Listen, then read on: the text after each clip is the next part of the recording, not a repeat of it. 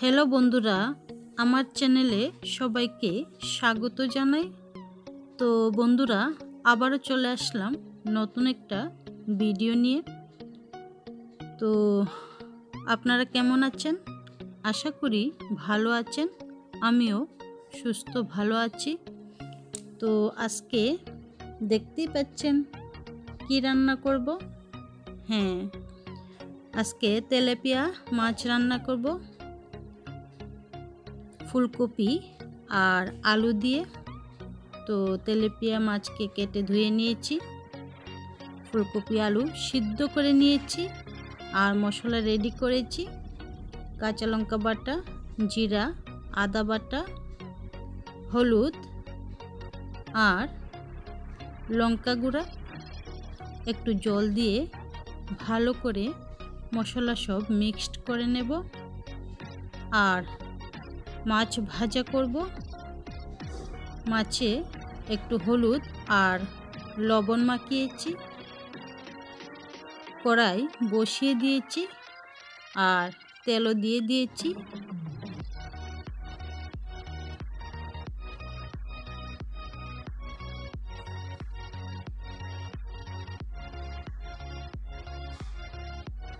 এবার মাছগুলো সব দিয়ে দেব।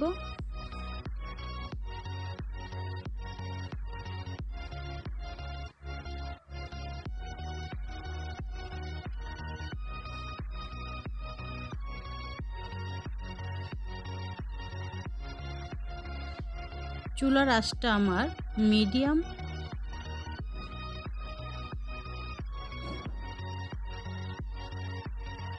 আর মাছগুলো খুব তাজা, বেশিক্ষণ ভাজতে হবে না। এবার উল্টে দেব।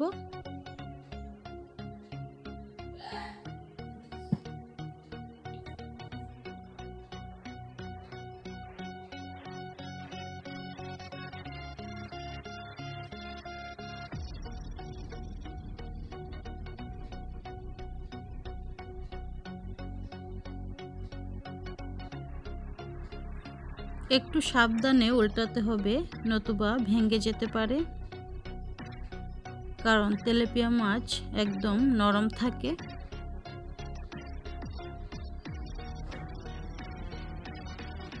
তো মাছ ভাজা হয়ে গেছে, এবার নামিয়ে নেব।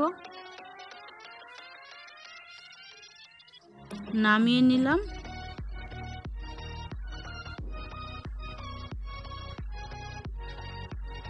সিদ্ধ করা ফুলকপি আর আলু ভাজা করব।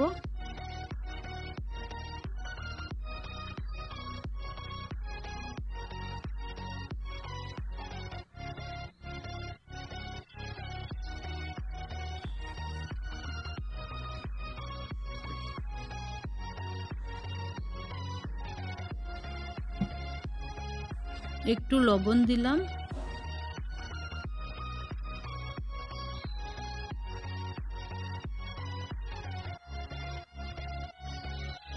একটু হলুদ দিলাম।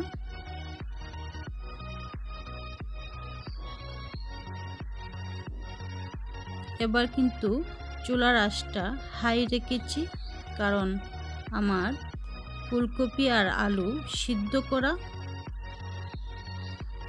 তো সিদ্ধ করা বলে ভাজতে বেশি সময় লাগবে না। আমি চুলার আঁচটা হাই করে ভেজে নেব। তো দেখতেই পাচ্ছেন লাল লাল করে ভাজা হয়ে গেছে, নামিয়ে নেব।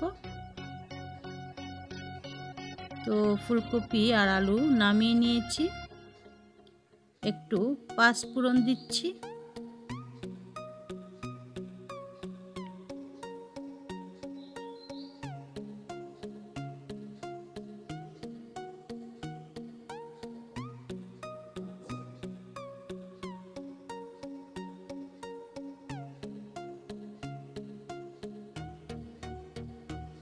এবার রেডি করা মশলা দিয়ে দেব।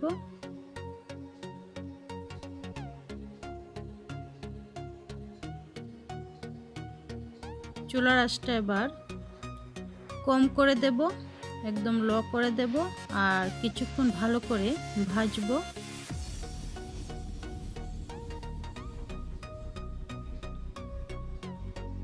তো মশলা কষানো হয়ে গেছে এবার। ভাজা ফুলকপি আর আলু দিলাম।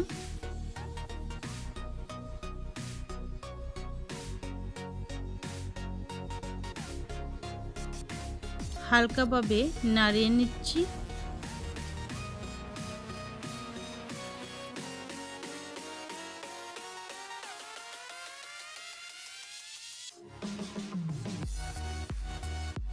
পরিমাণ মতো লবণ দিলাম।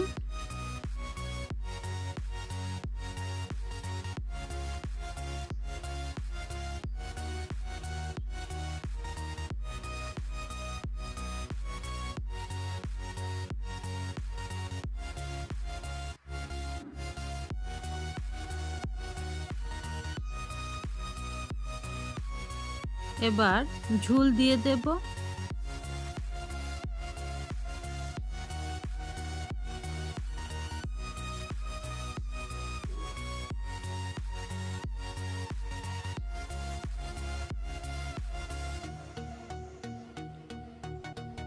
কিছু আলু তুলে নিচ্ছি।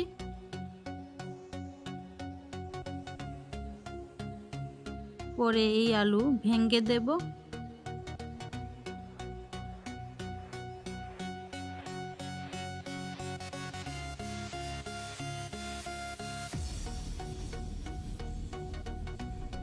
চুলার আঁচটা এবার মিডিয়াম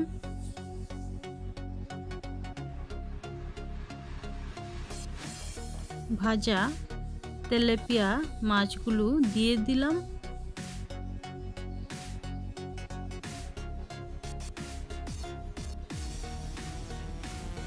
তো কিছু আলু তুলে রেখেছিলাম, সেগুলোকে ভর্তা করে দিয়ে দিলাম। ঝোলটা একটু ঘন ঘন হবে। আর ধনিয়া পাতা দিলাম।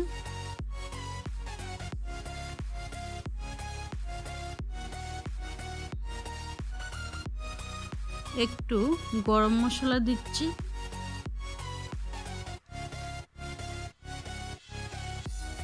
গ্যাসটা অফ করে দিয়েছি। রান্না কমপ্লিট। তো আমার বন্ধুদের বলছি, যদি আমার রেসিপি ভালো লাগে, যদি আমার ভিডিও ভালো লাগে, তাহলে আমার চ্যানেলটা সাবস্ক্রাইব করুন লাইক শেয়ার কমেন্ট করুন।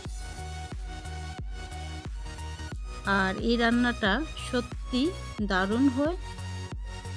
যারা পেঁয়াজ, রসুন খান না, অথচ মাছ খান, তারা এভাবে রান্না করে খাবেন। দারুণ সুস্বাদু হয়।